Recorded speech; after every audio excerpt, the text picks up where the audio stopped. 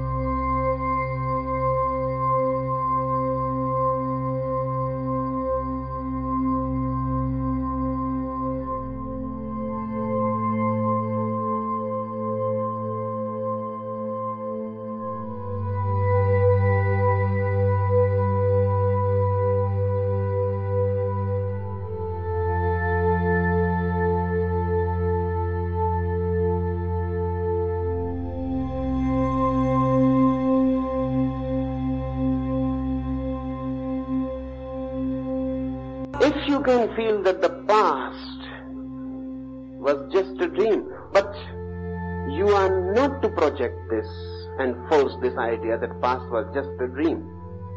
It is a consequence.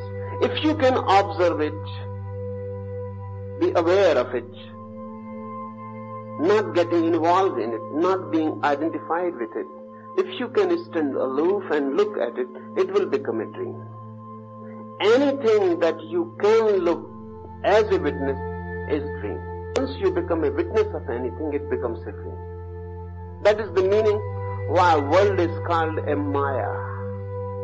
Not that it is unreal, but that one can become a witness to it. And once you become a witness, aware, fully aware, the whole thing drops as a dream for you.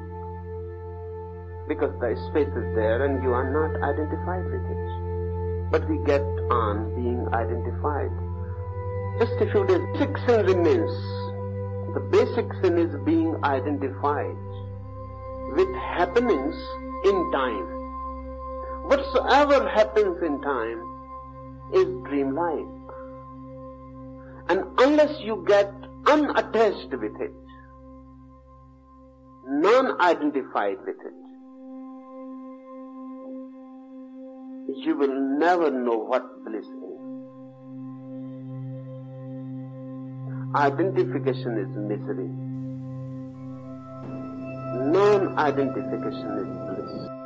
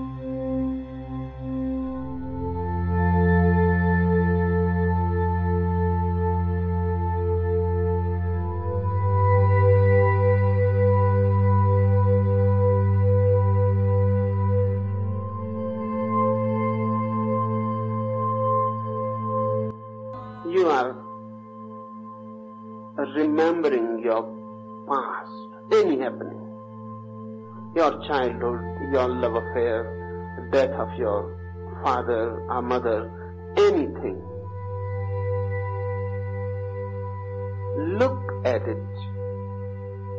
Don't get involved in it. Remember it as if you are remembering someone else's life.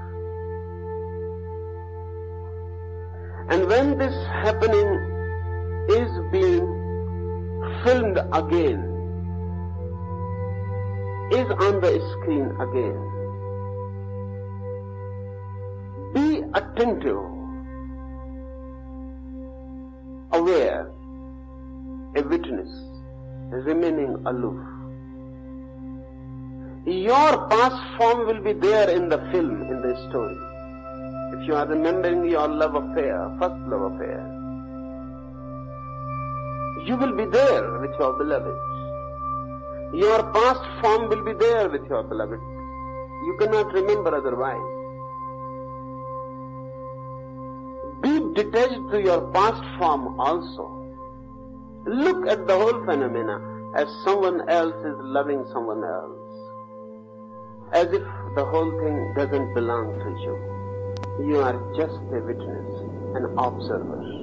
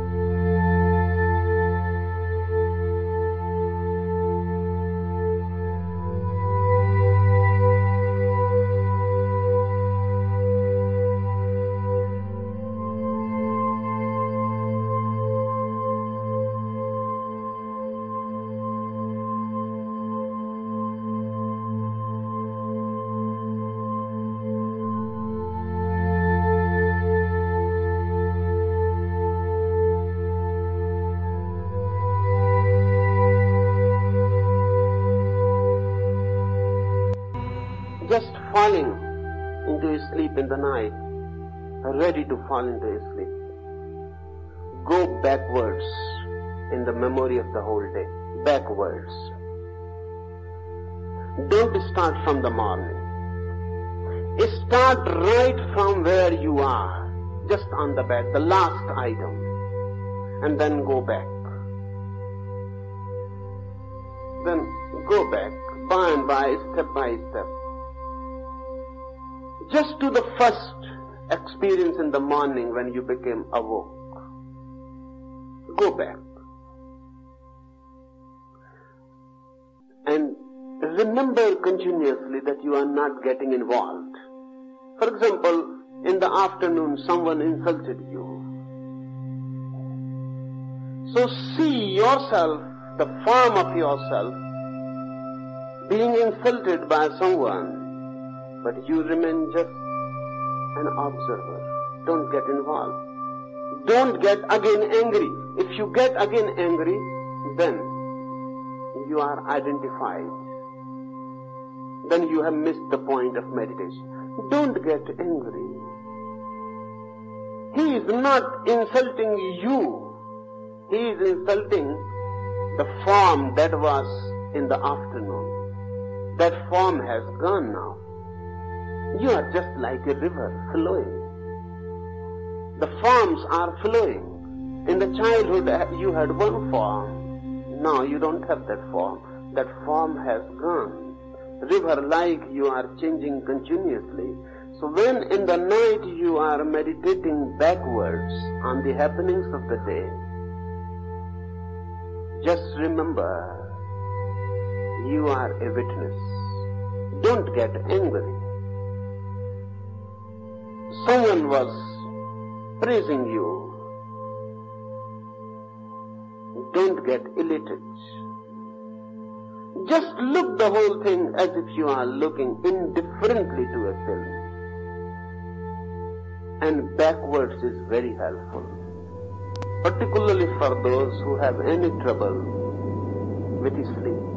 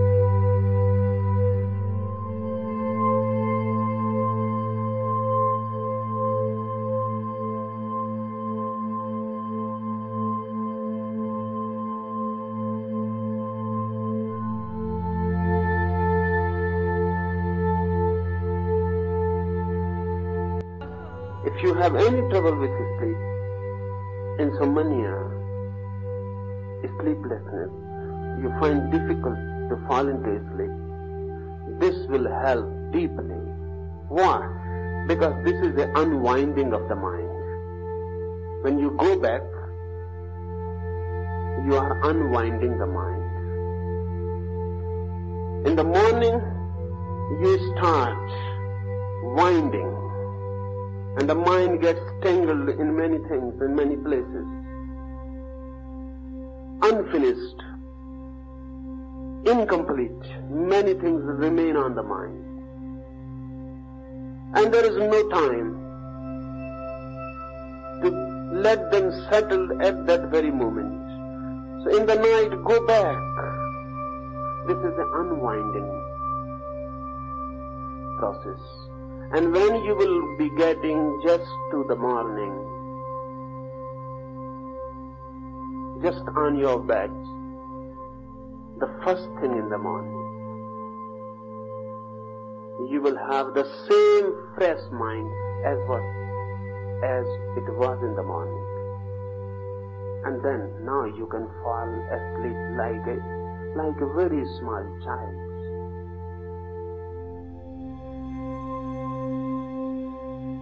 This technique of going back you can use for your whole life also.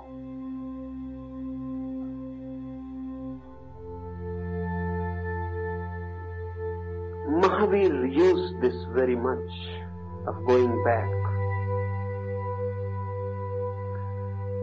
And now there is a movement in America, Dianetics. They are using this method very, very usefully. This movement, Dianetics, they say that all your diseases are just hangovers of the past. And they are right.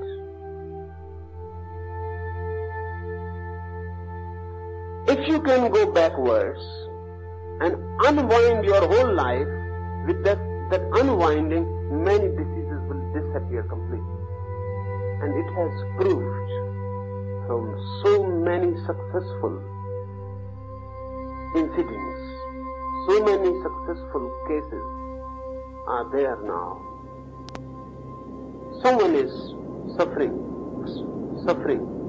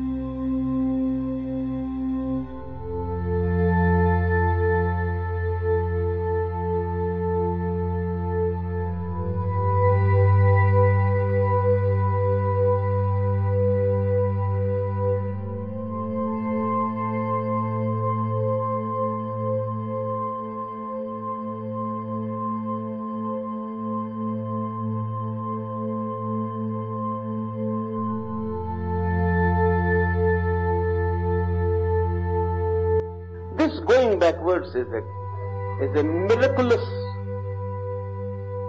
method. If you go back, slowly, slowly, unwinding the mind, to the first, the first moment when this disease happens. Go by and by back. And for the first time you were attacked by this disease. If you can unwind to that moment, you will come to know that this disease is basically a complex of certain other things, certain psychological things. And going back, those psychological things will bubble up. When you will pass through that moment when this disease attacked you, suddenly you will become aware what psychological factors contributed to it. And you are not to do anything, you are just to be aware of those psychological factors and go on backwards. Many diseases simply disappear from you. Because the complex is broken. And you have become aware of the complex. Now, there is no need of it. You are cleaned of it, purged. This is a deep catharsis. And if you can do it daily, you will feel a new health, a new fatness coming to you. And if we can teach children to do it daily, they will never be burdened by their past. They will not need anything to go to the past. They will be always here and now. There is no hang up. Nothing is hovering on them from the past.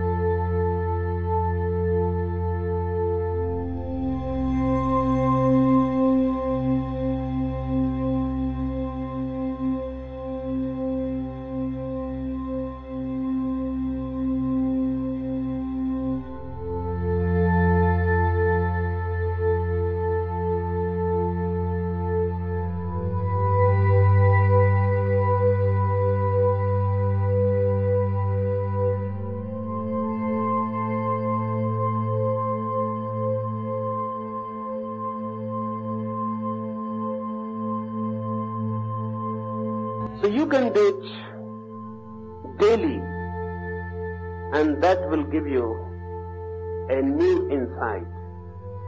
If you can go through the whole day backwards, the mind would like to start from the morning, remember. But then there is no unwinding. Rather, the whole thing is re-emphasized. If you start from the morning, you are doing a very wrong thing. There are many so-called teachers in India who suggest that do it. Reflect on the whole day. And they always say do it from the morning again. That is wrong and harmful because you are re-emphasizing the whole thing. And the track will be deepened if you go from the morning to the evening. Never do that. Always go backwards.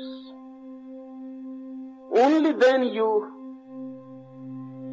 clean the whole thing. Purge the whole thing. The mind would like to start from the morning hmm, because it is easy. And the mind knows it. And there is no problem.